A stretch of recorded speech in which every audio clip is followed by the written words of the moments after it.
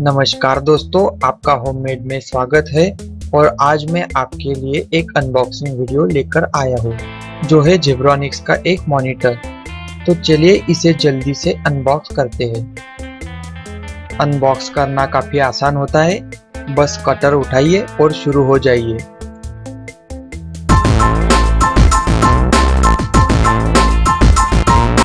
फिर इस तरह से इस बॉक्स को खोलने के बाद आपको कुछ प्लास्टिक की पन्नियाँ दिखाई देंगी, जो कि आपके प्रोडक्ट को टूटने फूटने से बचाने के लिए रखी गई है। इसके बाद आपको फिर एक बॉक्स दिखाई देगा मतलब बॉक्स के अंदर फिर एक बॉक्स फिर इस बॉक्स को आप फेंक भी सकते हैं, लेकिन अगर आप मेरी तरह क्रिएटिव इंसान हैं तो इसे रख दीजिए, बाद में काम आ सकता है। फिर इस दूसरे वाले बॉक्स पर आप कंपनी द्वारा दी गई कुछ जानकारी देख सकते हैं। जैसे कि 39.6 सेंटीमीटर का इसका डिस्प्ले है और इसका रेजोल्यूशन है, इसका रेजोल्यूशन है 1366 इंटू सेवन बाकी सभी जानकारी आपको वेबसाइट पर मिल जाएँगी।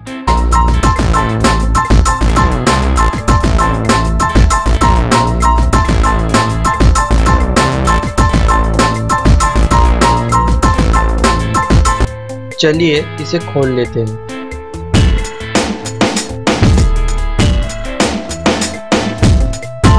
ये एक HDMI सपोर्ट करने वाला मॉनिटर है, लेकिन इसके साथ आपको HDMI केबल बिल्कुल नहीं मिलती, जो अपने आप में एक बुरी बात है।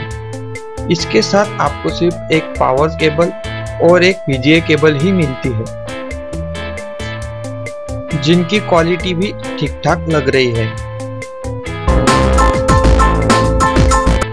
इसके साथ आपको एक यूज़र मैनुअल यानी यूज़र गाइड भी मिलेगा, जिसे काफ़ी तर लोग इग्नोर करते हैं। अगर प्रोडक्ट के पैकिंग की बात करें तो कंपनी ने पैकिंग इतनी अच्छी नहीं दी है। लेकिन इस बजट में ये बहुत ठीक है। चलिए इसके बारे में आपको कुछ बातें बता देता हूँ, जो आपको पहले से ही पता भी होंगी। ये यहाँ पर आप पावर केबल लगा सकते हैं। और यहाँ पर एच केबल और यहाँ पर VGA केबल।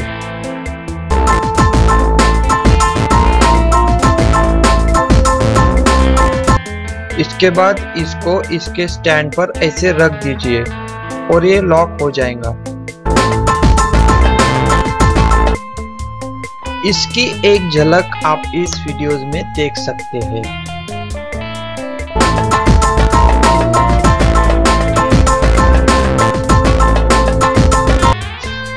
प्राइस के हिसाब से इसकी बिल्ड क्वालिटी काफ़ी ज़बरदस्त है। मैंने इसे तीन हज़ार चार सौ रुपये में अमेज़ोन से ख़रीदा था।